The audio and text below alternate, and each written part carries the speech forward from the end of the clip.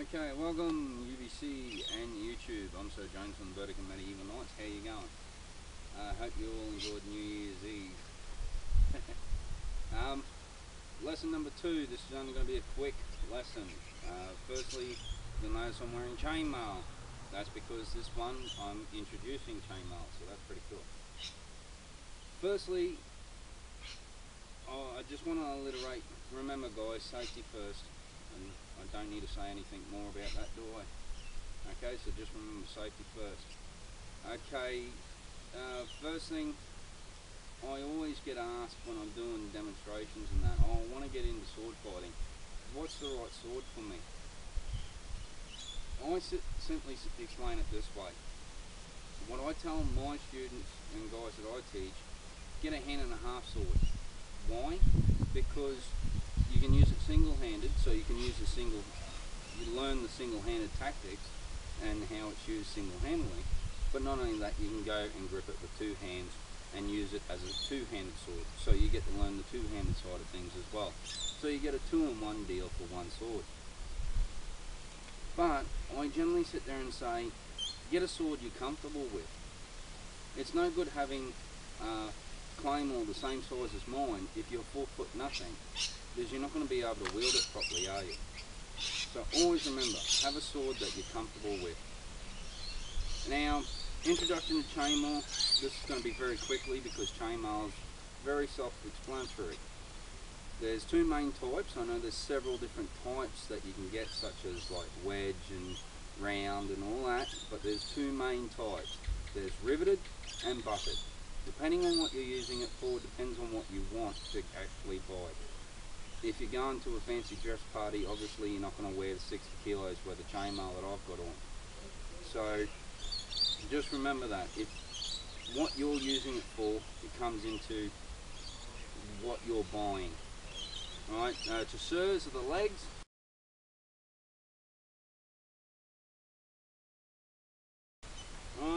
As you can tell mine are spring steel butted, 20 kilos by themselves.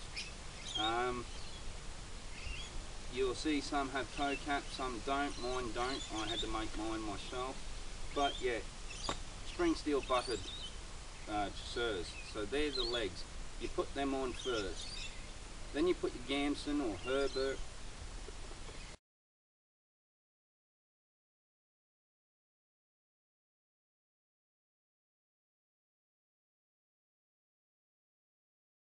on.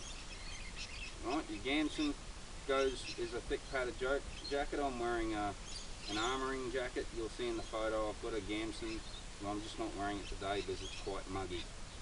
Um, so your jacket goes on, then your hauberk or your haubergeon, which is your chainmail shirt. You'll notice mine's riveted. Um, that's because I need more protection here than I do down there. I'm more likely to be hit in the centre of scene body mass than I am anywhere else maybe my arms, but you know, you've got a shield and a sword and that sort of thing to help deflect and parry blows from there. And then you've got chainmail for clap or coif.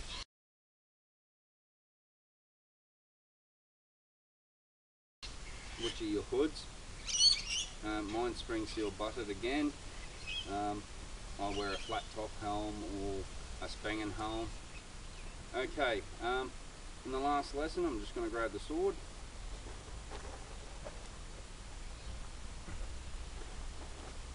Uh, in the last lesson, we learnt parts of the sword. So we learnt the foible, or the weak of the blade. We learnt the forte, or the, the strong of the blade. We learnt what makes up the hilt section of the blade. We learnt tip, the front blade, otherwise known as the true of the blade, and the rear of the blade, otherwise known as the false. Right, we know this is a fuller, and for the ones that are got like a diamond section to the blade, that's called a riser.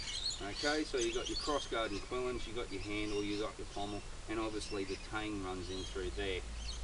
One thing I'm going to mention now, because I've introduced the chainmail, and I've got a sword. Care and maintenance. If you notice, this one here has an Allen key nut that you can pull it all apart, the hilt section all apart. I say for cutting, this is a great way to go because as you'll see a lot of your targets have moisture involved. Tameshigiri uses mats that are soaked in water. Your bottles filled with water, obviously water. So if you go like that, water's going to drip down into the hilt section of the blade. You pull it apart, you clean off the tang of any surface rust, and you can check for cracks in the tang, which is more important as well. It will let you know that either you need to replace your sword or replace the blade. Uh, how long do, does it need to, to do in between pulling it down? For this one here, I use it a lot for demonstrational purposes and training and that, and I do a lot of cutting myself um, on times that I'm sitting there doing nothing, get bored, go and cut stuff. I pull it apart once a fortnight to once a month, keeping it clean and that, but I do a lot of cutting with mine. If you're only going to cut with it once a month or so, well you could go, let's say, once every three months pulling it down and.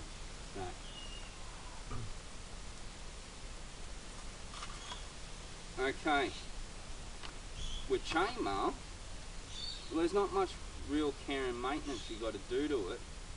However, it tends to de-link where you've been hit.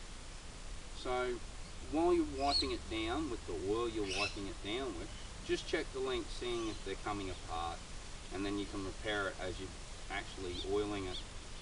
As for your blades, uh, I know that a lot of people have their own ideas to sharpening and cleaning and that, so I'm not going to get too much into it. But what I like to do is I use, like for the banana trees, left fibrous stuff on the blade, I use a hobby steel wool. Wipe my blade down and get all the gunk off it, wipe it down with some window cleaner or something with a clean rag, and then I get there, sharpen the blade up, right, and I say it's personal preference to how sharp you keep your swords. I tend to keep mine less sharp than when I do a katana, but you get you'll get the gist of how sharp you'd want to keep yours depending on what they're used for.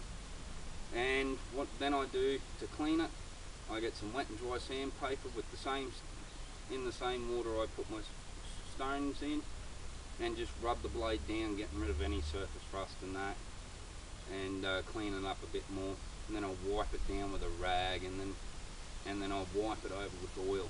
Now I use both on my armour and my swords I use uh, chainsaw oil. It contains a substance that kills rust as well as protects it. So if you've got a little bit of surface rust and you don't feel like you know going through a bit of sandpaper to sandpaper the rust, generally a wipe or two with chainsaw oil will take the rust off anyway. Um, and besides it's hard to get rust off the chainmail and um, so just wiping it down with chainsaw will, will help. Um, as for that being said, I often get asked, oh you'll you'll need to be fit to wear this stuff and swing swords and that sort of stuff. I sit there and say, yeah well it helps to be fit, so push-ups, sit-ups, heaves, you know, a weight routine or whatever. You don't have to be Arnold Schwarzenegger. Um, but the best training you can do is actually wearing your armour and training with a sword. Because obviously wearing 60 kilos worth of armour is different to bench pressing or curling 60 kilos worth of weight. So, you know, just get used to wearing your armour. That's the main key point when it comes to armour, is it does weigh a lot and you just got to get used to it. Some people think I'm nuts. I actually sleep in mine, believe it or not. When I go out on the weekends and do some combat and scrub and that, I'll sleep on mine for the weekend. Um, or if I've done a whole heap of training that day and that, and I'm sitting there having a few beers with a couple of mates, I'll go to end up going to sleep in mine because I couldn't be stuffed taking it off, call me lazy or whatever. But hey, uh, I do sleep in my chainmail. Uh, with your going to the toilet in your armour, uh, okay, medieval knights used to actually shot themselves uh, if you get my meaning, uh, they used to go to the toilet without taking it off. Uh, you'll get used to going to the toilet being civilized while wearing armor. It's a little bit more difficult than the normal going to the toilet, but you'll get the idea yourself. I don't need to get into that, do?